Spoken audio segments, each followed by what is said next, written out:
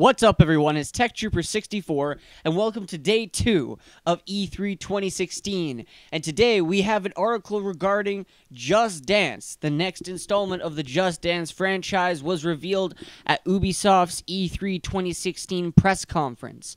Now, the article says here that Ubisoft's annual dance franchise is returning this year with Just Dance 2017.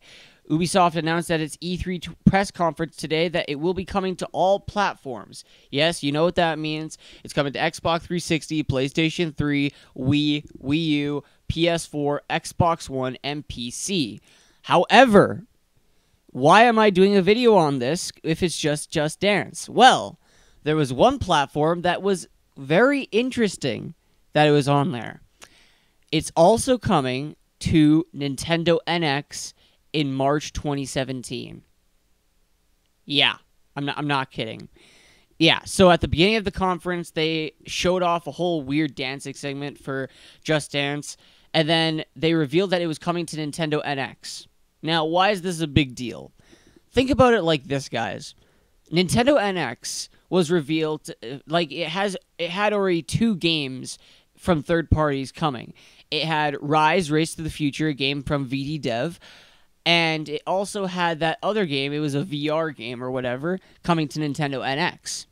Now, for Rise Race to the Future, isn't it funny how the logo for Rise Race to the Future got removed for the Nintendo NX version? And it looks as if that Nintendo told them to take it down, even though Ubisoft has the full right to say that they're making a game for the Nintendo NX. So, this means one thing or two things. One, it means that the Nintendo that Nintendo is fine with third parties announcing if they're making games for the NX.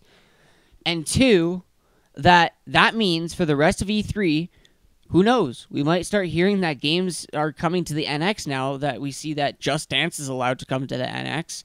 So it'll be interesting to see what, else will be coming to the NX. I was actually curious if Ubisoft was going to announce any more NX games at their conference, but they didn't. So I guess that's just what they're doing. Anyways, so let me know in the comments down below. What do you guys think about Just Dance 2017 coming to the Nintendo NX? Don't forget to rate, comment, favorite, and subscribe. And subscribe for the latest E3 2016 news that will be coming for the rest of this week. I'll see you guys next time. Peace.